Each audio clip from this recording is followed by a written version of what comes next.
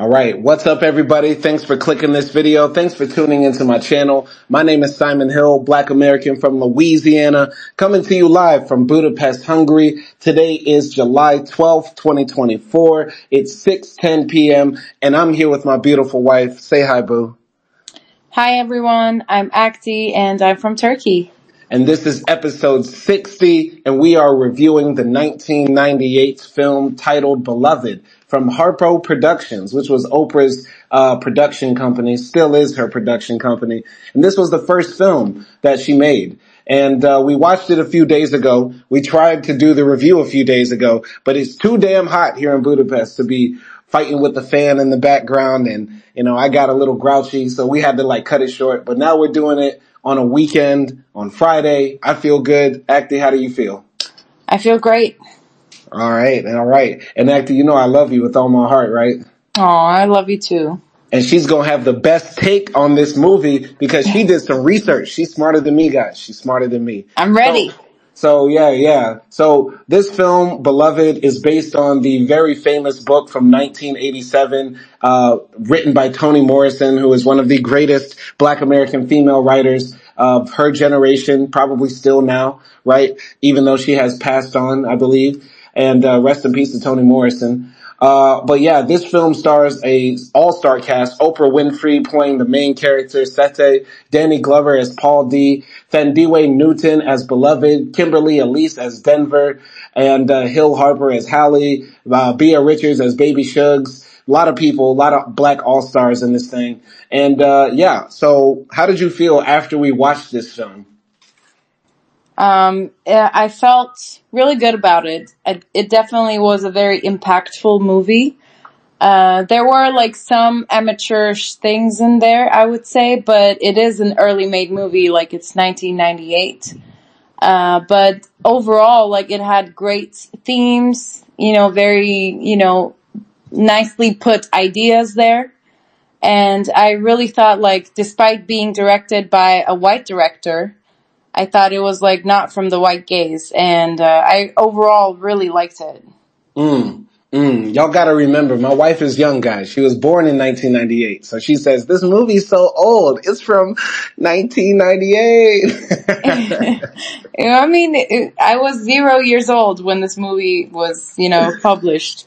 I I disagree with you that the film feels amateurish. I feel like the graphics and the effects hold up well. I don't feel like there's like cheesy, you know, horror graphics that you would see in like a, you know, early 90s or even mid 90s horror film. It holds up very well, I feel like, because they use lighting and they use different filters on the camera to make things, you know, uh, look otherworldly or ethereal. That's what I'm, that's what I'm seeing from it. Mm, I mean, I don't, like, I'm not saying every scene was like that, but there were certain scenes where I felt like I was out of the movie because of, you know, those props or effects. Mm-hmm. But I would say in general, like the way the actors are acting and because the story is so compelling, it covers up for that. So yeah, like it still holds up good because of those things. Right. I mean, all the actors who cried, I felt like those were real tears.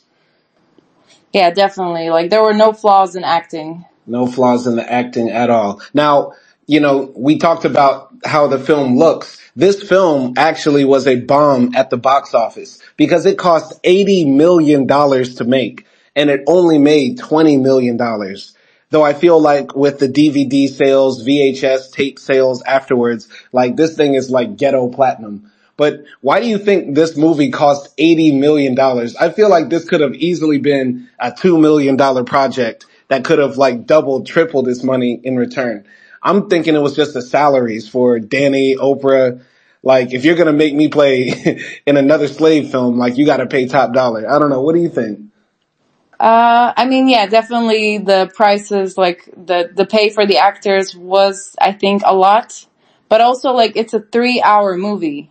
Mm. So I think it took a long time to get everything right mm-hmm. in this movie because there are very complex scenes and like a lot of flashbacks and things like that. So maybe like editing also took a long time and a lot of money, uh, like for those people to get paid as well.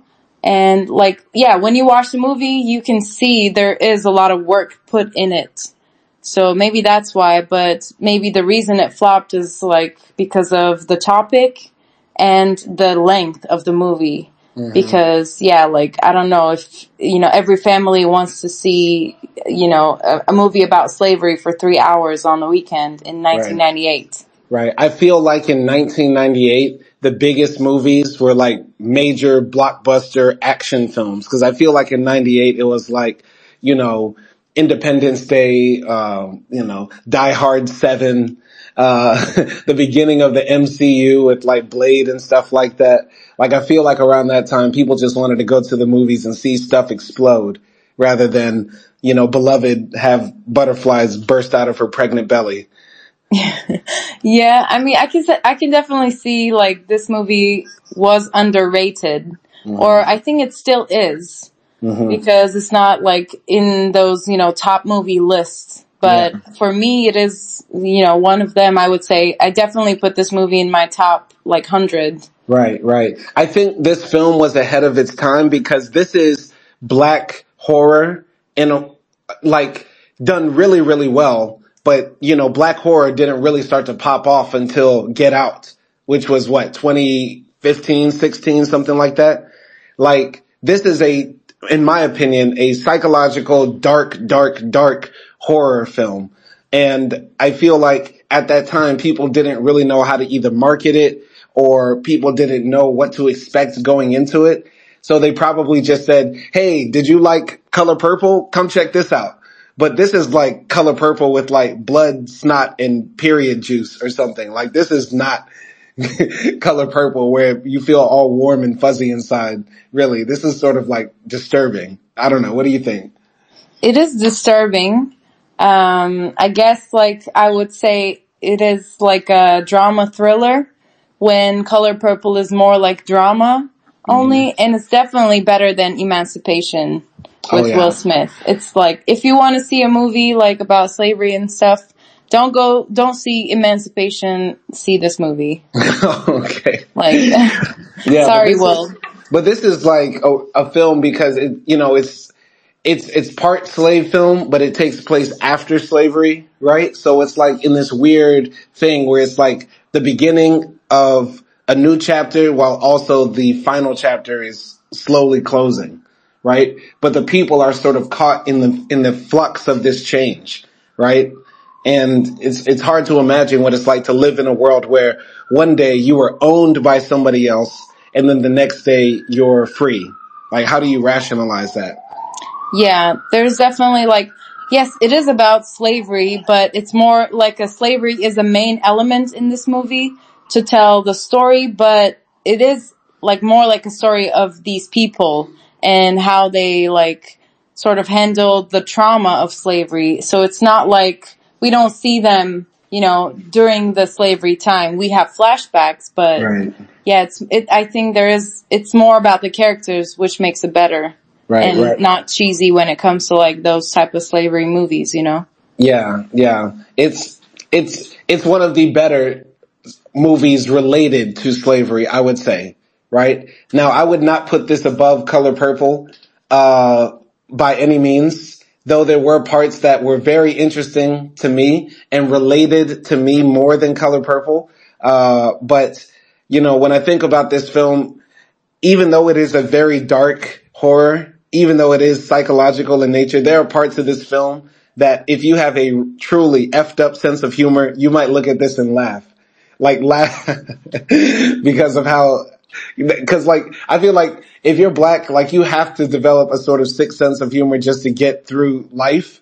You know what I mean? So like when Beloved is making strange faces or like, you know, uh, they're taking her milk when they're taking Sethe's milk, you, you just might crackle a little bit if, if you've probably seen this the second time. You get what I'm saying? Yeah, I mean, I think like this purple is as good. That sorry, this movie is as good as co- the color purple.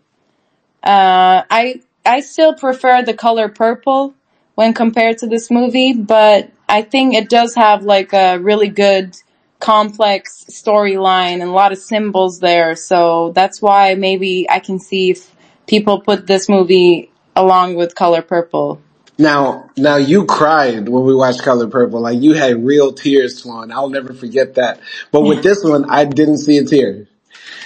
Um, I mean, I got that like a little tingle in my nose Mm-hmm. in one of the scenes, which we will discuss. But Mhm. yeah, other than that, I didn't really cry because yeah, it did have that thriller sense. Mm-hmm. So, you know, I guess maybe that's why.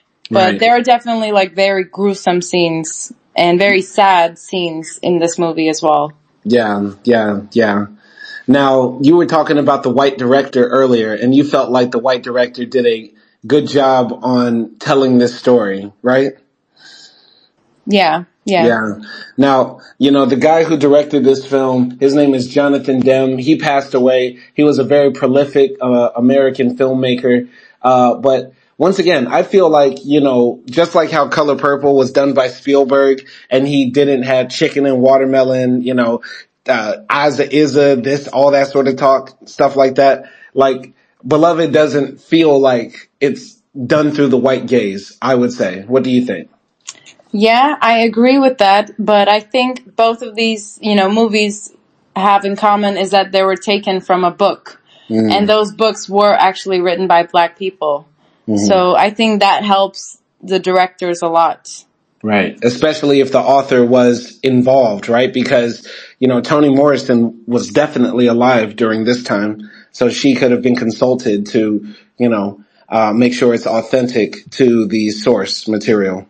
Yeah, yeah. And yeah, like also what makes this movie great is that I didn't know this the first time we were trying to review this movie, but like Toni Morrison, his, hi her book got a lot of recognition. You know, she was the first black woman to win a Nobel Prize in literature, a Pulitzer Prize as well. And then I also found out that, you know, she got this idea for the story from an actual person who was alive during that time. And uh, that was really fascinating for me to find out like all of this was like too real. It was sort of sad, but it was also like brilliant as well. Mm, mm. The only thing I found from my research is that the only person nominated for an Oscar for this film was the white woman who designed the costumes. Damn. I mean, yeah, if you think about it, costumes were good, but you know, we're not gonna give a nomination to Oprah. Exactly. You know? Racism. That's, that's the ism right there. Wow. Yeah, No, but- I mean, yeah, when I think about it, like the costumes of especially Beloved was cool. Uh, cause she had that sort of gothic vibe to her, Mhm. like wearing dark clothes and stuff, but yeah. Now, tell us about the woman who this book is like based on. Like, just brief overview. Of Yeah, This. yeah. So this woman was called Margaret Garner, or also Peggy, and she died in 1858. And she was an enslaved African American, and she actually um, killed her own daughter, uh, and other, and she intended to kill her other three children rather than going back into the slavery. And uh, yeah, she ended up like being trialed and they didn't know whether to trial put her on trial as a free human being or as a property but uh, in the end she ended up going back into the institution into the slavery farm and then she you know passed away in there Mm. but this was like such a big news story back then as well because yeah it's a big thing when you know mom mothers murder their own children Right. I say this all the time about slavery. Like, the crazy thing is, like, what we know about it, how horrific it is, it's not even scratching the surface because there are millions of stories that went, you know, unknown, right? And we'll never know them. Entire lives, entire generations of people whose stories that we'll never know of what they went through, what they survived, what they learned, what they witnessed. It's such a crazy thing. And I didn't know about that story until you sent it to me. Um, as far as like the book Beloved, for me, I, I remember being assigned reading this in like English class by like my white English teacher in high school. And all I remembered from it is that like I tried to read it, but it was very confusing. And there was a part in there where Sethe was talking about the guys at Sweet Home used to like have sex with donkeys because there were no women at Sweet Home or very few, something like that. I don't know. That's all I know. But did you ever hear about this book before we watched the movie? No, I did not. And uh, yeah, I'm very curious. Like maybe if we can get our hands on this novel, I would like to read it because I'm sure like the novel is even deeper. Mm-hmm. I'm pretty sure I would cry if I if I read this novel. but you know, they say yeah. the book is always better than the movie, and this one is going to be a lot darker, a lot. Um, yeah. the, the text is probably going to take you to places you couldn't imagine. But once again, shout out to Toni Morrison. Let's jump into the film real quick. So basically the movie opens with like the, uh, it's wintertime and the camera pans down to this cemetery and there's basically a grave that doesn't have a birth date or a death date. All it says on it is beloved while it's covered with snow. And then uh, we're shown a picture of this house that looks eerily similar to the color purple house on the edge of a farm somewhere and it says 1865 uh, Cincinnati, Ohio or somewhere in Ohio. I forgot exactly. Uh, and then we're seen inside the house and the house is shaking, rocking back and forth. Two little black boys are holding onto each other, screaming, mama, help, mama, help. A dog is flying around the living room and then a dog gets slammed into the wall. The mother is actually calm the entire time. She picks up the dog who had its eye pop out of its socket. She's trying to fix the dog's eye back into its head. And the two boys, you know, say, we're going to leave this house and their sister is saying, don't go, don't go. But the boys are like, nope, we leaving. We're sick of this. And these two boys who don't look any older than like 13 or 14, right? They, they run out of the house in the middle of winter with like their bags in hand. And then, you know, uh, the, the screen goes black, uh, flash forwards to eight years later.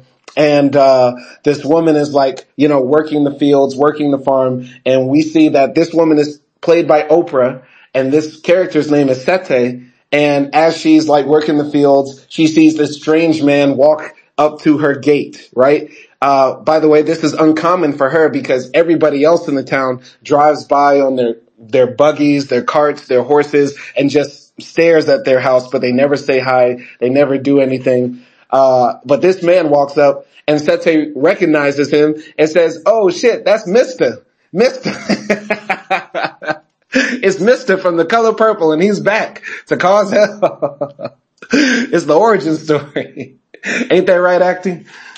Yeah, there were definitely like, I was just having a lot of flashbacks to color purple because there were a lot of similarities.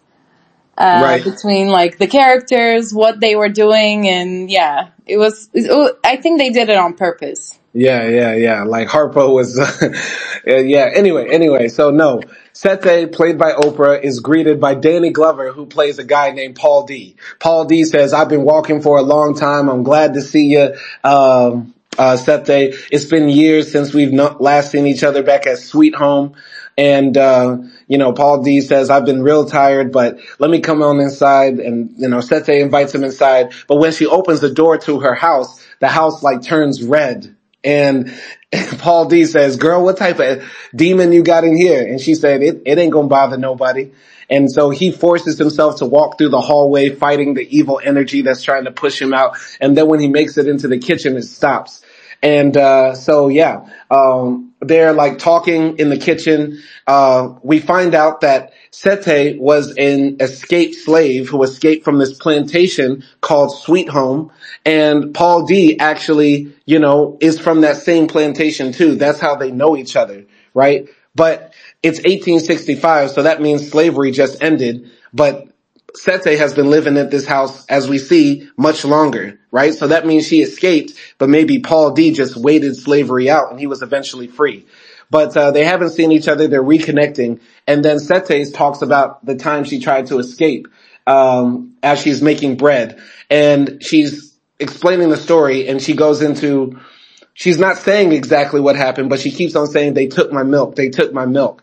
And she's having flashbacks to when she was raped in the barn by these slave masters while one of the slave masters whose name is school teacher is reading the Bible over her while these other two guys are like sucking on her chest and taking her milk from her.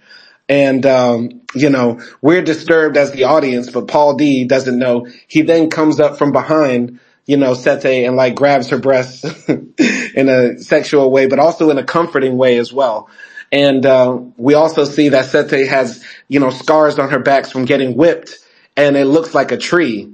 And, uh, you know, Paul D opens it and takes a look at that. And, uh, they're about to get real physical, but then a demon starts like attacking the house. And then Paul D fights the demon by pushing the table, uh, you know, and then the demon stops shaking the house. And then Paul D and Sethe go upstairs and have sex. What did you think about like the first, I guess, 15 minutes of the film? Okay, so the opening part where we see like the past, uh, I was a bit judgmental of that because like the dog looked a bit fake, like when it was thrown into the wall. So I was like, okay, maybe this is not gonna, this movie is not gonna have like the best, you know, um, cinematics or something like that. I was thinking that like that a little bit. But of course, like I was interested because, you know, I was like, okay, maybe it's going to be like a horror movie. I didn't know like the genre of this movie because when, if you look at the poster, it looks like a, you know, a second color purple. It doesn't have any, you know, means of being a horror movie in the Now let's poster. just, let's just get this out the way. Like this film bombed at the box office and it's not as famous because people just see this as them trying to remake Color Purple. And it was marketed as such. But go Yeah, ahead. I think it's possible. Yeah. Um, but yeah, like definitely poster doesn't give that vibe. So I was so, sort of surprised. I didn't know what was happening.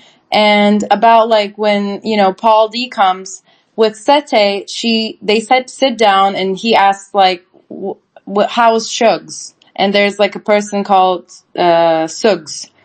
And, uh, yeah, and then Sethe says, oh, she died, but she died peacefully.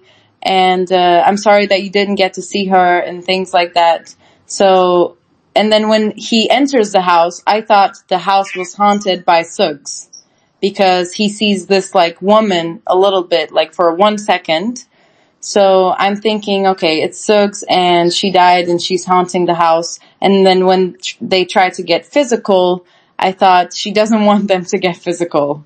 And, uh, she got mad and then she attacked like Paul D's character. And that's what I was thinking. But as for like the flashbacks of Sethe, it was definitely very like hard to watch. Like one of the worst scenes of the movie right off the bat, but it's like hurtful because you know this sort of thing might have happened or probably happened in the past. And that's what makes it like truly bad. Mm-hmm. All right. My first impressions of the first 15 minutes of the film is that Oprah in this film actually looks pretty damn fine. Akdi, no offense. I don't mean any offense by that, but we've never seen Oprah sort of like as a sex symbol. But here in 1998, I feel like she was in her prime, like physical prime, low key. Am I tripping or am I not? No, I I think I think Oprah is a baddie in this movie as well. Mm, yeah, I think like also a lot of the reason why like most people don't see her as like this sexy woman is because she was so powerful and she was so powerful as a black woman in times of like very, you know, hard patriarchy. And she Yeah. always like rode against that. Yeah, So- no, definitely. I mean, she's Yeah. intimidating to a lot of men because she is powerful. Like she's a real billionaire with that B, multiple B's. You get what I'm saying? And on top of that, she is like unapologetically black in her aesthetics, right? Wide nose, big lips, you know, 4C hair. And we live in a white supremacist world where all of those things are considered not beautiful. So Yeah. yeah, Oprah is going to be, you know, always derided in the media as like not attractive. Uh, but let's keep it real. She's gone up and down in her weight a lot over the years. There were times when Oprah looked like, you know, looked like a blimp. let's keep it a buck. But she was felt in this film. I don't know if it was the waist trainer, the girdle, whatever. She was looking bad. I see why It's, Paul it's the youth, you know? youth. Yeah. I mean, she was younger. She was younger in color purple, but she didn't look like that in color purple. Uh, she did towards the end, but in Color Purple in the beginning, her character is like worn out. Um, So maybe that's why. And then at towards the end, she pulls it off, like, Mm. and she she looks better. I see. I see. I see. But anyway, uh, another thing I want to say is like at, in the beginning when she's fixing the dog, right? It made me think like, okay, this woman is just, she's not callous or careless, right? She probably is living with this demon around and she is going to do whatever it takes to survive, right? Cause she could have easily let the dog die or just stared at the dog or cared for her kids, right? But she probably knew like, I'm going to try to keep as much normalcy as possible. Any comments about her fixing the dog? Yeah, to me, I, I thought like, okay, she's used to this. like mm-hmm. she fixed that dog a couple of times and she knows there's a ghost in her house. She's living with it.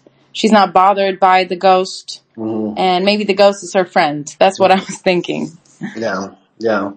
Uh, moving on, you know, when Paul D and Sethe like are starting to get sexual in the kitchen and stuff like that, uh, two things, you know, I like how Paul D is finding beauty in the pain that, uh, Sethe had to live through, right? And it was good to see Danny Glover sort of like in a redemption kind of way play this black male character who's trying to do something to uplift the black women around him. You get what I'm saying? Not like Mister, who was constantly like beating down women until the very end of Color Purple. Right here in this film, both of them, Sethe and Paul D, are trying to heal each other through sex in a way. Right? And this is something I've never seen in a film before. Like most of the time in films, they show sex as something that's just lust or, or, you know, just wanting that person's body. But these people are having sex to sort of like you know, recuperate with each other, show their flaws, let the, let their guard down. You get what I'm saying? Yeah. And I think like a lot of the acting here was really good because with a scene like that, I feel like it can go very wrong because mm-hmm. you have like a woman, you know, remembering her past trauma and she has a sexual trauma because they were, you know, raping her. So after, right after that, when, you know, Paul D approaches her, it can go like very wrong and you mm-hmm. can feel like Paul D is horny and, and stuff like that. But here and every time they have like sex, mm-hmm. uh, you can feel the nurturing nature of it. So right. yeah.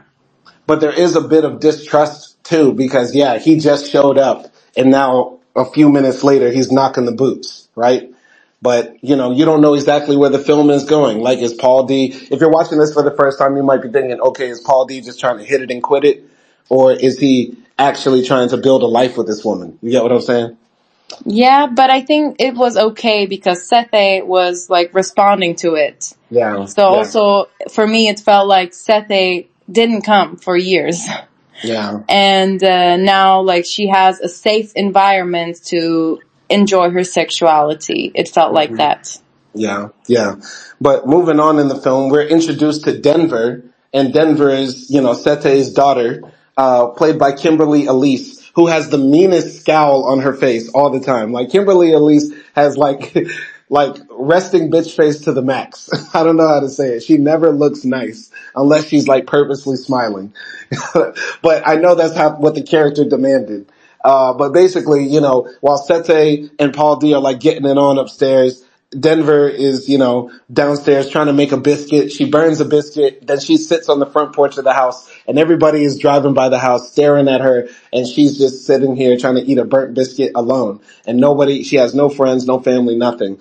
And then, you know, uh, at night, Paul D and, uh, Paul D is like dreaming, right? And he's having all these nightmares right? Remembering school teacher, remembering sweet home. And so is Sethe too. So like, you know, images of Sethe getting raped are playing in the background. School teacher, the slave master saying that Sethe is an animal reading from the Bible while she's getting raped. It was, you know, all real. And then Paul D wakes up out of his sleep like, ah, you know, I can't deal with all this. And that's what makes me feel like this film is a psychological thriller and horror, right? Because if you watch it the first time, you might be thinking, okay, why is this mean looking girl always looking mad in the house? Is she the demon? Is she going to kill somebody? And then the other thing too is like psychological thriller means dealing with the human psychology and Paul D and Sethe are dealing with PTSD, uh, post-traumatic stress disorder or post-traumatic slave disorder because they're constantly reminded of all the times they were on the plantation and, and the things that, you know, they went through. So yeah, any comments about that?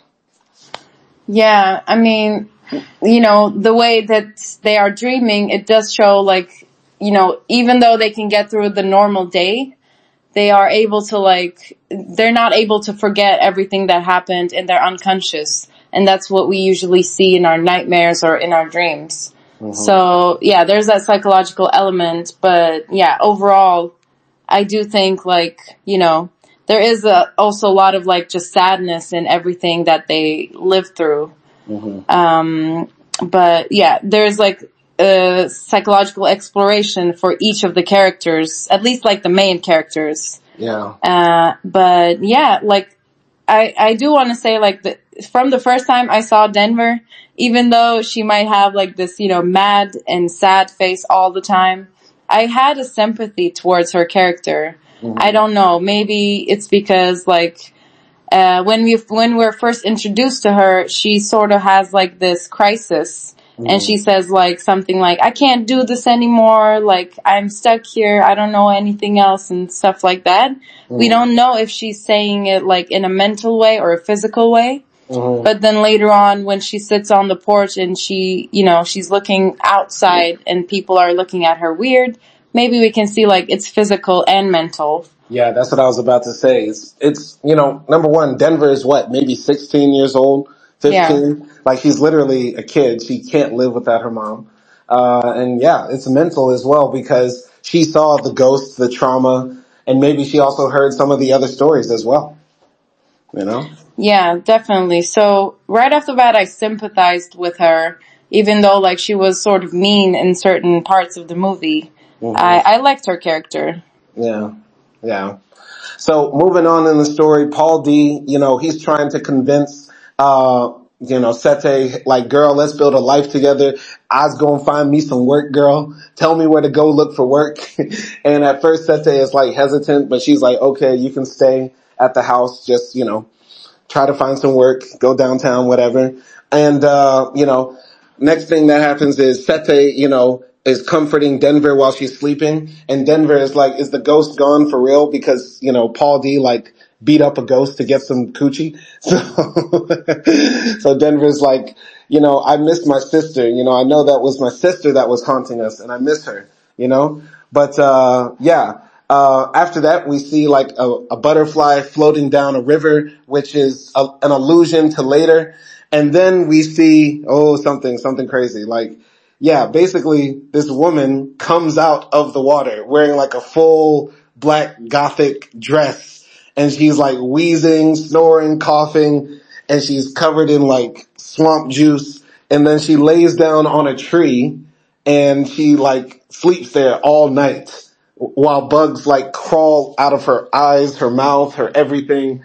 And, uh, yeah, this is our introduction to Beloved. And Beloved is played by the woman whose name is Thandiwe Newton.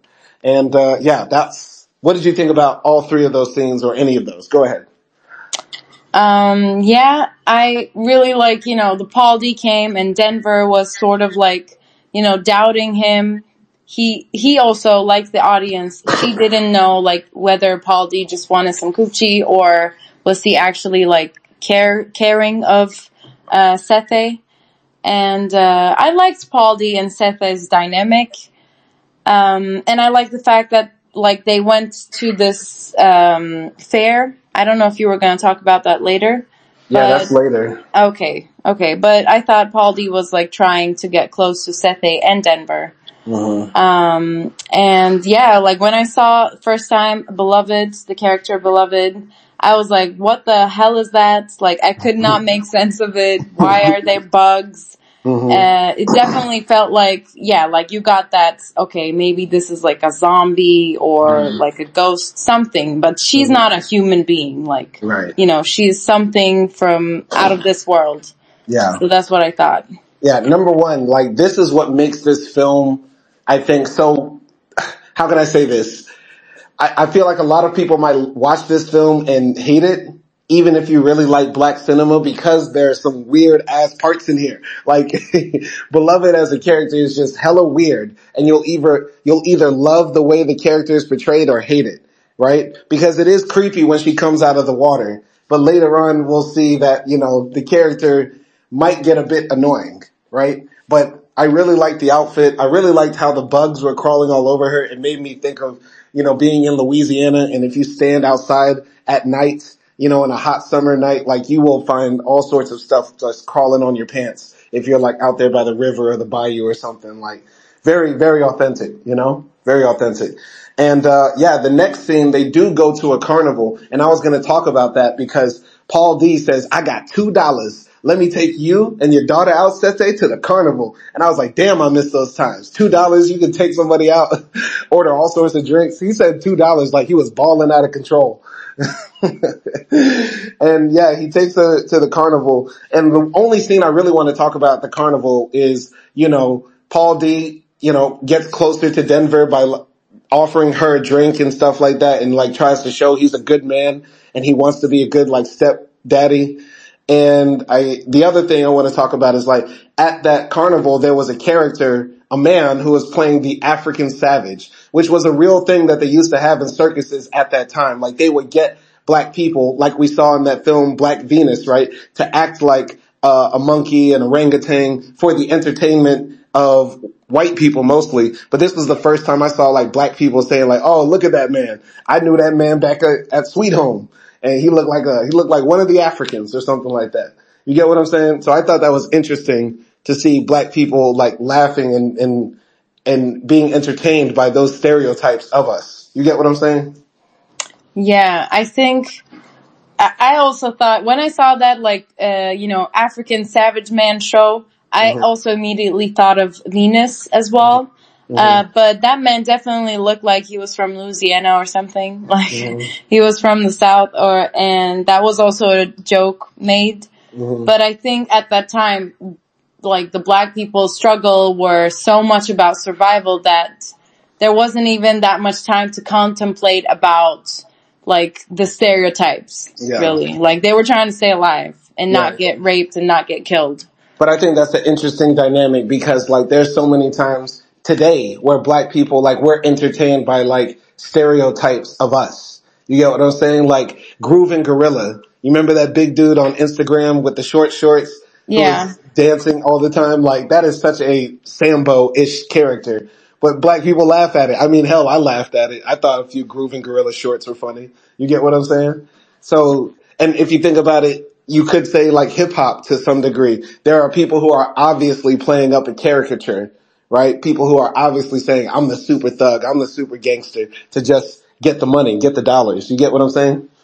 Yeah, I mean, I think it's okay to laugh at yourself or like people like you and laugh at those stereotypes because that is a way of survival also, like a psychological survival but it does become problematic when like people who abuse you do it. Mm-hmm. Uh, and uh, yeah, and and at that time, I was also like sort of thinking this was the entertainment of that time. Like this was the mm-hmm. Netflix, this was the you know movie theater of that time. Just going to the fair, getting a lemonade that probably was like two drops of lemon, and like the rest of was water because that lemonade looked like water. The rest of it was gin. Back then, everybody was drunk. Okay. okay, they were drinking that moonshine. And uh, yeah, like it was nice to see that environment and sort of like get into the feeling of that like time. Mm-hmm. Definitely was interesting also to see, like you said, see like black people having their time at the fair and uh, seeing black stereotypes, but as well as like you know white folks performing for them as well, like bearded lady or mm-hmm. uh, you know stuff like that. Right, right, yeah. right. Well, moving on, you know, they're at the fair and we also see that other ladies there are looking at Sethe like, oh, she's here. Oh my God, she's here. That lets us know even more that she's sort of ostracized in the town. And as they're leaving the fair, they come back to Sethe's house and they see the swamp lady laid up on a stump, laid up on a stump in front of her home. So Sethe, as soon as she sees the woman, she runs to the side of her house and instantly starts peeing like a shower head. Like it's like her water broke, but it wasn't like her water broke. It was just like a very powerful drunk pee that she had been holding all night because her Tinder date would not shut up. And it was like, once again, this movie is weird. It was hella weird. And so then they bring the girl into the house and then they ask her what's her name and she croaks out, Bay. E L O V E D, beloved. And like, oh, and Denver says, oh, that's a that's a pretty name. What the hell is going on? What the fuck is this movie? Acting, acting, take control. I'm about to scream. Those were my exact thoughts. Like when I saw Oprah peeing like a shower head, I was like, oh my god, what are they making this woman do? I did, I was so like, you know, taken aback and I was also trying to make sense of it. Like, Mhm. because you don't make sense of it really until later. Mhm, And at that point, you're just like, what the hell? mhm. And beloved, she's definitely very, like for me, I was disturbed by her voice, by Mhm. her like facial expressions and demeanor. And I think that's what they wanted as well. Yeah. Um, so yeah, but definitely like you, you don't know if she's a child or if she's acting like a child or she's Mhm. an adult because she does look like a teenager as Yeah. well. I also thought, okay, maybe did she like escape from slavery as well? Like, I don't Mhm. know what's wrong like with her or if she's like real or not. I, I was also thinking about that as well, like if she's an imagination of Sethe Yeah. in Denver. Uh, so yeah, it was definitely very weird. Yeah, very weird. So uh, basically, Denver is like taking care of uh, Beloved while Sethe and Paul D continue to like giggle throughout the house like teenagers and sneak away to have sex every now and then. And uh, yeah, Beloved is kind of nasty. Like she pees and poops in the bed, and Denver has to wash out everything while she's continuing to watch after this girl. But it's kind of cute seeing Denver take care of her because obviously Denver did not have any friends, any social life. So she's just happy to have somebody around, even if she is, you know, a weird girl who speaks like a frog. What do you think? Yeah, I mean, definitely for Denver, she was like that long, you know, mm, searched friend. Mm-hmm. And even though like Denver, sorry, um, Beloved was super weird, maybe Denver was like, I found someone even weirder than me. Mm-hmm. so, you know, maybe this puts me at an advantage as well. Mm-hmm. And also like, um, you know, Beloved was acting like she had obsessive compulsive behavior disorder. She was like, at one moment she was having fun and dancing around with Denver and then another moment she would get mad at her. And, and you can see like in some of the scenes and stuff, she's sort of also obsessed with Sethe as well. Mm-hmm. And she's like just very curious about Sethe and she constantly asks questions about her to her or to Denver. So yeah, I was like very confused by all of that because Right. I was like, does she, does Beloved love Denver as well or she doesn't? I'm not, I wasn't sure. Yeah, yeah, yeah. I think um, you know, beloved just was like sort of learning and growing as she was there in the house. Uh, but also she came there with a mission in mind, and we find out about that more. So you know, basically, a few scenes later. Beloved sits down in front of Sethe in front of the fireplace and says, tell me about your diamonds. And Sethe says, you know, what do I look like wearing some diamonds? And she says, I've seen you with them before. It says beloved and stuff like that. Denver says, I've never seen you with them. And, uh, yeah, uh, uh, Sethe says something like, you know, when I, I was gonna get married to Halle, but, you know, Baby Suggs found out that there wasn't going to be a ceremony or anything like that. She gave me some diamonds to make myself feel better or something like that.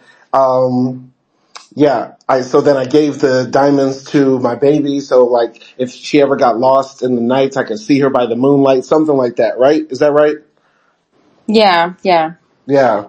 And also, um, I remember that in the film, right, she's doing Denver's hair and Denver says, ow, it hurts. Uh, but Sethe doesn't like show any sort of care that Denver said, ow, my hair hurts while she's talking to Beloved.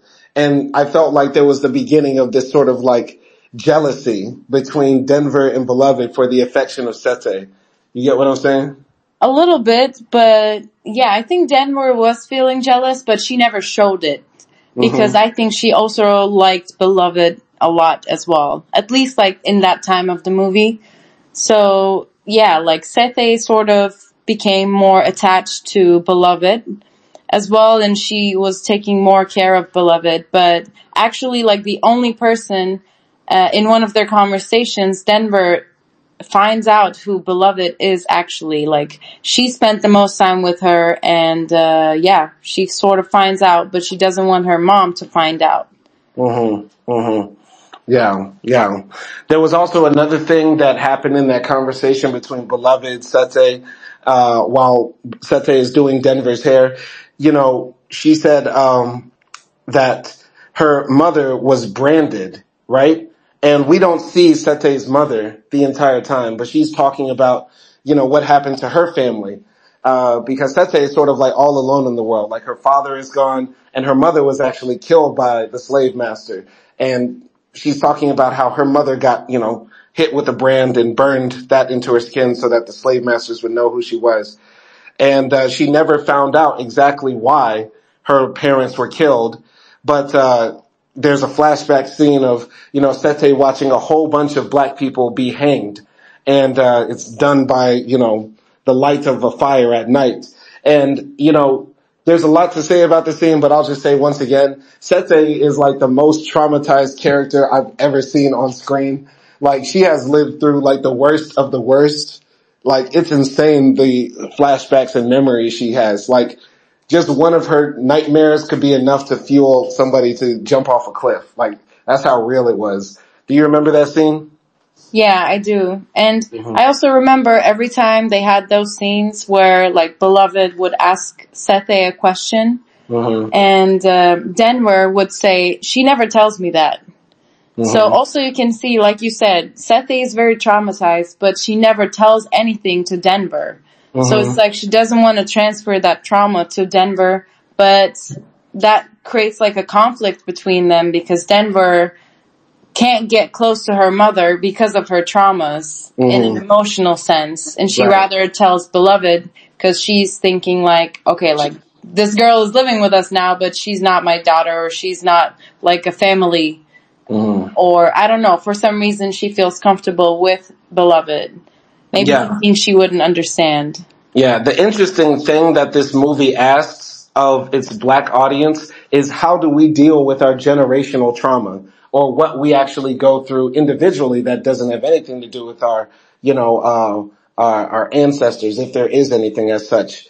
Like, do we just bottle it all inside? Do we let all of that rage, all of that pain, all of that disappointment, all of those fears just fester inside of us and then haunt our house, haunt our energy, uh, taint our aura? Or do we actually like just let it out? You know what I mean? Because I feel like this film is telling us like the way Sethe handled it, while it is understandable to some degree, it ultimately wasn't healthy. And it took sort of love from other people, other black people to bring her back to life to some degree. Not literally back to life, but you know, rejuvenate her soul because all that she was keeping inside, all the things she went through was, was eating her up. You get what I'm saying? Yeah, I mean, as someone who's studying psychology, like the best way to deal with trauma is not bottling it up, but it's, uh, you know, taking it out in healthy ways hmm and also recognizing it as well. So yeah, like at this point in the movie, the only thing Sethe did that was good for her to heal her trauma was being with Paul D.